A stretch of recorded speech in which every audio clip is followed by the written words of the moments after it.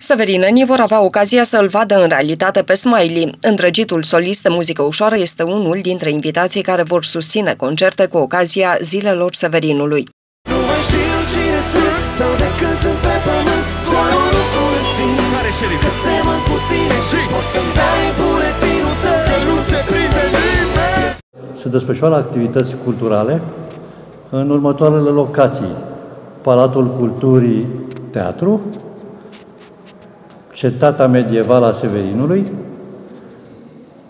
strada Crișan, parcarea din fața Carfurului și cred că strada aici Brătianu. Muzica populară va fi pe strada aici Brătianu, iar talentele locale vor fi și ele promovate. Printre numele invitațiilor o regăsim pe micuța Nicoleta Andraian cu trupa Banghi Band. De asemenea, se vor prezenta foarte multe piese de teatru, dar și un spectacol de cabaret. Ca principiu și ca gândire a acestor manifestări, în fiecare locație am avut grijă ca toți artiștii severineni de toate vârstele, începând de la pionieri până la oameni de cultură venerabili, vor avea prilejul să se manifeste prin diferite activități cultural-artistice.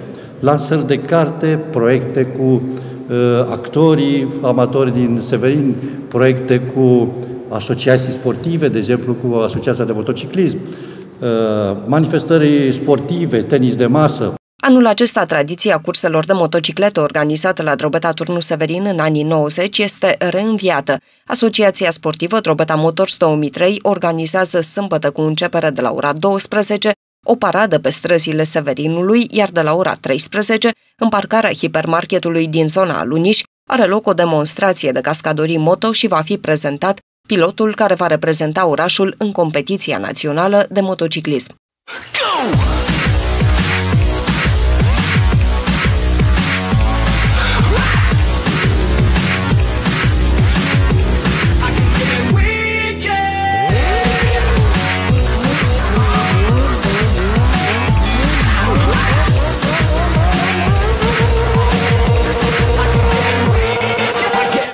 Programul complet al evenimentelor organizate va fi afișat în locuri vizibile din drobeta Turnu Severin, astfel încât severinenii să își aleagă evenimentele la care vor participa.